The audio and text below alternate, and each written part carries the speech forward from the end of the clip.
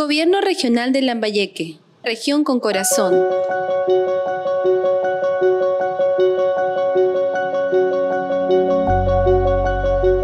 La fiebre del dengue es una enfermedad infecciosa febril causada por el virus dengue, el mismo que se transmite de una persona enferma a una sana a través de la picadura de mosquitos del género Aedes, principalmente Aedes aegypti.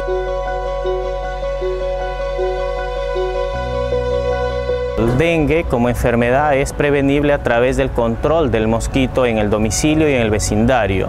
Eso significa que debemos evitar la proliferación de este mosquito a través de la eliminación de cualquier enser, residuo o recipiente que pueda almacenar agua y sirva de criadero para los mosquitos. Si tuviese que almacenar agua en casa, recuerde que debe escobillar y lavar bien los recipientes y posterior al llenado del agua debe mantenerlo siempre tapado y sellado.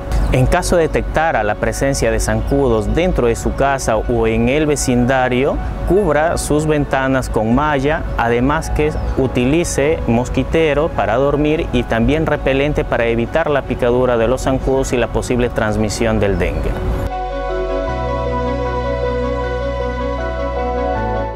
Recuerda, si tienes fiebre, sarpullido o dolor de ojos, si tienes dolor muscular y de articulaciones, no te automediques. Puedes tener dengue, zika o chikungunya. Muchos medicamentos de uso común para el, el malestar, para la fiebre, podrían ser contraindicados en el tratamiento del dengue. Llama o dirígete al establecimiento de salud más cercano. El diagnóstico y tratamiento son totalmente gratis en los centros de salud.